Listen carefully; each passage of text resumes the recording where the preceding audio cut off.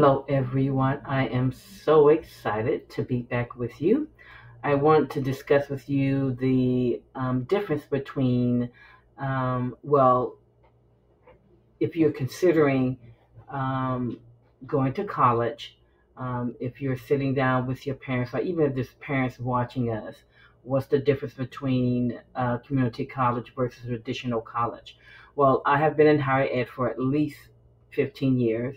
And so let's talk about the difference, um, the community college versus traditional college. Um, and if you and your child are in this um, decision making stage and which one is best, I think there's a lot of things to consider since I've been in the higher ed industry for a very long time. So, uh, welcome to the presentation for community college versus traditional college.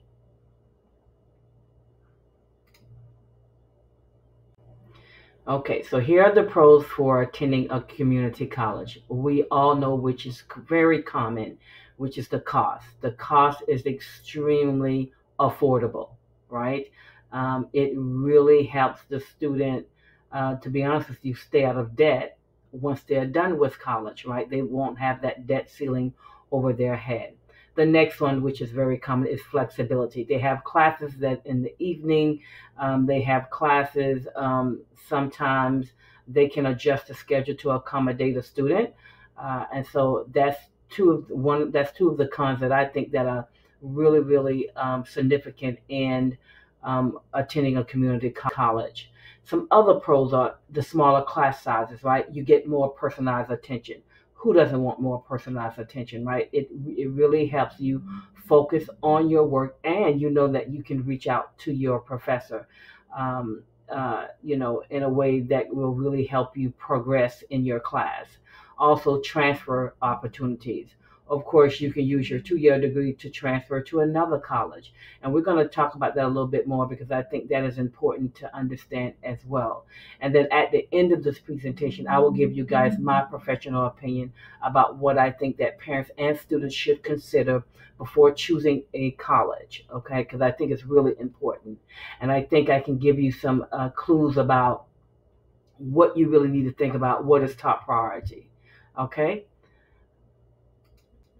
Our next, um, uh, our con for community college is limited degree options. So you may not have as many as degree options as if you were have a four year college, right?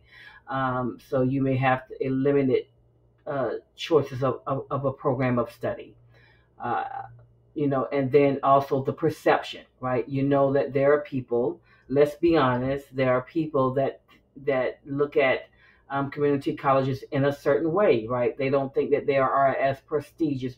And I'm not saying that they're not prestigious colleges, but I don't think that's something that anyone should focus on, whether it's a prestigious or not. It depends on, I think reputation matters, right? As long as a college doesn't have a bad reputation, um, I think uh, there's nothing wrong with um, considering a community college in spite of what societal uh, norms are concerning community colleges. Campus life, of course, uh, with the community college, um, you, it does lack a, a campus life, right, uh, for students like extracurricular activities, you know, like Greek organizations, sorority organizations, those things, networking events. And they may have some networking events, uh, but it is different. That is a con when it comes to community college. You don't have the access um, like a four year college may have. And so now we're going to talk about the traditional college and the pros of that, more degree options. You have a plethora of more program of studies that you can choose from when, when attending a traditional college. Campus life. Of course, there are more clubs, there are more social events, there are more networking events um, at a at a four year college. Even your professors are big um, on uh, you know networking um, events, right? You can use them as as as networking um, with them because of who they know. Because a lot of times in your traditional college, you have PhDs. Um, so I would say uh, that's that's one of the cons of campus life. Like I said, you have more social activities, networking opportunities, and plus you have more of a diverse student body, right? You have all different types of cultures there, which I think is also um, one of the one of one of the most best things that you can experience is experience different cultures because it helps you develop. It really does help you develop as a person. Okay, so you understand that your world is not the world, right? It's just your world, and so that's what I love about the uh, the four year college campus. You're dealing with a lot of diverse um, students. Uh, and, here, and, here, are some cons for the traditional um, college. Uh, the cost, of course, your debt ceiling is much higher, right? And so that's something that you have to consider. Some of the schedules are, are rigid, right? You may not have as much flexibility, but now things are changing. There's a lot of flexibility now, right? Typically, there there was not a lot of flexibility, but now, in, in some colleges, they're doing evening classes. They're doing um, uh, they may not have Saturday classes, but some of them may do. They're doing these things now to accommodate uh, those that are working the working class. Uh, so now, although at, when you know typically when traditional colleges were at the beginning, they didn't have these type of flexible schedules. But as time has gone on, we have them now. Um, large class sizes. You have to be okay with uh, multiple people in a class. You know, so many people in a class, right? And you don't have that small college feel. You now you have this large feel where you have a lot of um, students, and the professor may may not be able to give you that individualized attention like you're used to, you know, like you may get in, in a community college. So keep that in mind as well. Time commitment, right? So now things have changed. Typically, it used to uh, it used to take you about four years to get a degree. Now you can get a four year degree in one year degree. You can get a bachelor's degree in one year. In, in one year, you can get a bachelor's degree in a year and a half. So things have changed over time. Okay, uh, so you know things have changed over time. So we know that uh, the typical four-year degree now has turned into um, a year or two, right? And so which is good because time has expanded um, and allowed us to uh, grab degrees that normally would take four years. I think like a PhD would take seven years. Like I think that's ridiculous. I think that is too long to be in school. I, I do um, uh, to get a PhD. I'm not saying that you should not do the research. I'm not saying. I'm just saying that it has to be a way to where someone can get a degree, a PhD or a doctoral degree, less than seven years, and now they have that. They have doc, doc, doctoral degrees and get for in two years, three years, now four years. So if you're looking for that, make sure you uh, look into that because there are some programs out here that do offer that and here is my professional opinion. I, like I said earlier, I, I have been in higher ed for 15 years. I think parents and students need to consider the cost. I sincerely do. I do think that sometimes we go to these really expensive schools, prestigious schools, and the debt ceiling is so I mean, it's so high. So when the student gets out of, when the student um, graduates, now he has this debt uh, a burden of debt that's on their shoulders that they have to now figure out, um, you know, how to repay it. I I think, uh, and and let's say not even the student, but let's say it's the parents. Now the parents that's maybe in their 40s and 50s, right? Now you have to pay back parent loans, parent plus loans for, and you're in your 40s and 50s and 60s. I do not think that is wise. I will tell you that out of my professional opinion. If you have it, great. Then you can do it for your kid. But I do think you the cost needs to be considered first. And what type of stress or what type of predicament that will put the family in. And that's not only the student, but also the parents.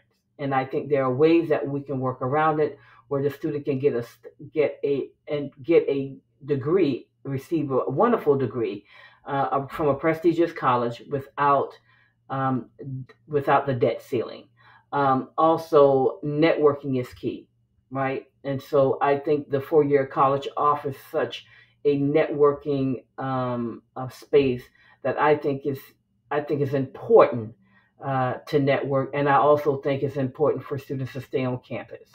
Um, I think um, you know for students to um, uh, to stay on campus. It helps them develop as, you know, as people, right? Uh, it helps them understand um, how to get along with other people. I think if a child or a student uh, can experience living on campus, I think they should. I think it's really important. Um, also, um, so, and I'm saying depending on the circumstances, the reason why I'm saying depending on the circumstances is because it depends on the individual situation. And so, in my professional opinion, I think people should start out sometimes at a community college where it's affordable and transfer to their dream college if possible. Um, and that way your your debt ceiling won't be as high. Um, you will still your degree will still be from that prestigious school or whatever college it may be. Um, but I most definitely think uh, that um, do, attending a community college at first and then transferring to a four-year college or university that that the student wants to be a part of. I think that will help financially.